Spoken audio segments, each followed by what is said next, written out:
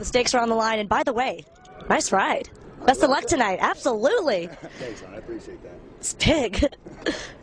That's what she said. Wow.